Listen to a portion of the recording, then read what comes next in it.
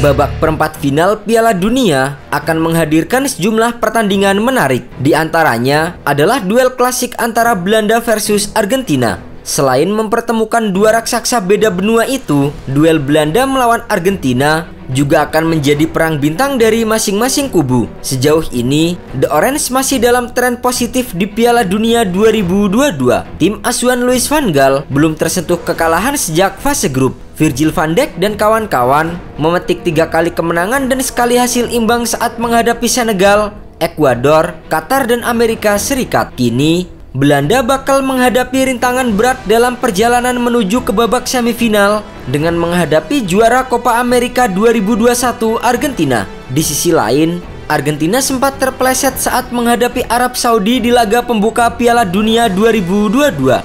Lionel Messi dan kawan-kawan takluk 2-1 atas wakil Asia itu di babak fase grup. Namun, La Albi Celeste langsung bangkit dan menyapu bersih dua laga dengan kemenangan. Di babak 16 besar, langkah Messi dan kolega juga tak terbendung saat menyingkirkan Australia dengan skor 2-1. Pertemuannya dengan Belanda di babak 8 besar akan menjadi ajang adu tajam di lini depan yang menarik untuk dinantikan. Dengan materi pemain yang hampir setara, kedua tim diprediksi langsung tampil menyerang sejak awal babak pertama. Dari kubu Belanda, mereka memiliki sosok Cody Hakpo sebagai lumbung gol dengan catatan 3 gol sejauh ini. Selain Hakpo, The Orange juga menyimpan nama-nama yang tak kalah tajam seperti Davy Klaassen dan Memphis Depay.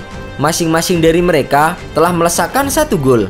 Bahkan, Davy Klaassen turut berperan atas lahirnya dua gol Belanda dengan memberikan dua assist. Melihat ketajaman para pemain tersebut, Luis van Gaal tidak akan ragu untuk memasang Hakpo, Klaassen dan Depay dalam starting eleven melawan Argentina. Sementara itu, trio Jurien Timber, Virgil van Dijk dan Nathan Ake diprediksi masih akan menjadi andalan Belanda dalam mengawal pertahanan. Dengan rencana strategi, kami bisa mengejutkan lawan. Itu sudah dibuktikan beberapa kali. Para pemain tidak pernah kalah di bawah kepemimpinan saya. Saya katakan kami bisa menjadi juara dunia dengan skuad ini. Saya tidak bilang kami akan menjadi juara dunia, tapi bisa menjadi juara dunia. Di kubu Argentina, mereka memiliki sosok Lionel Messi yang menjadi roh permainan tim selama Piala Dunia 2022. Kapten timnas Argentina itu tidak pernah absen dalam 4 laga terakhir dan selalu tampil selama 90 menit penuh.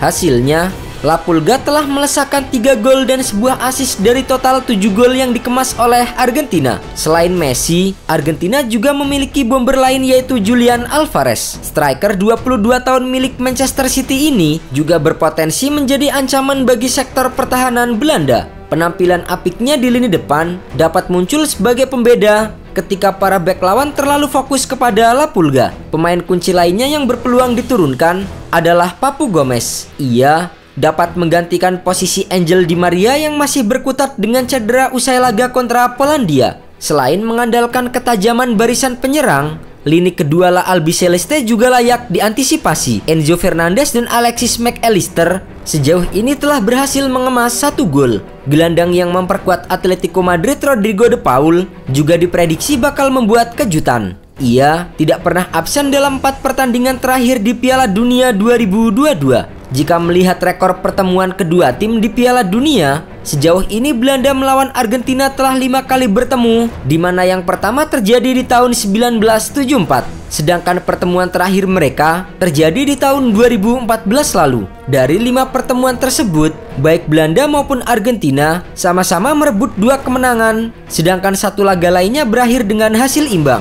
Di edisi 1974, Belanda berhasil menang telak 4-0 atas Argentina di fase grup. Empat tahun berselang, Argentina berhasil membalas kekalahan mereka setelah mengalahkan Belanda dengan skor 3-1 di partai final.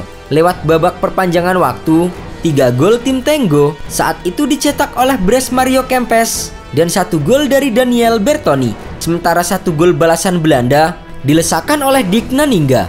Belanda versus Argentina kembali bertemu 20 tahun kemudian di babak perempat final Piala Dunia 1998 Prancis. Saat itu, Belanda sukses memulangkan Argentina berkat kemenangan 2-1. Patrick Kluivert membawa Belanda unggul pada menit ke-12. Lalu, Argentina menyamakan skor melalui Claudio Lopez 6 menit kemudian. Namun, gol Dennis Bergkamp di menit ke-89 akhirnya membawa Belanda melaju ke babak semifinal.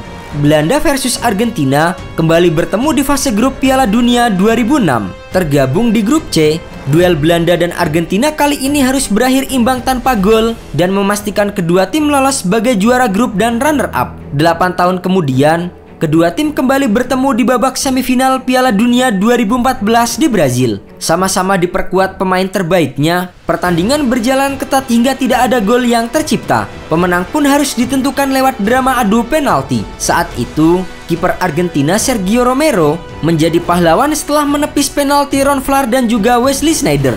Argentina akhirnya berhasil menang atas Belanda dengan skor 4-2 di babak adu penalti. Namun di final, Lionel Messi dan kawan-kawan saat itu harus menyerah 1-0 lewat gol dari Mario Götze. Jelang duel ke-6 di babak perempat final Piala Dunia Qatar pada Sabtu dini hari nanti, kedua tim menyadari bahwa pertandingan tidak akan berjalan dengan mudah. Di atas kertas, kedua kubu sama-sama layak masuk ke semifinal. Sekedar informasi bahwa Messi sejauh ini belum pernah mencetak gol melawan Belanda meski memiliki 38 kontribusi gol dalam 39 pertandingan internasional terakhirnya. Ditambah lagi, Belanda di era Van Gaal masih belum terkalahkan sejak kembali sebagai pelatih pada September 2021 dengan meraih 14 kemenangan dari 19 pertandingan.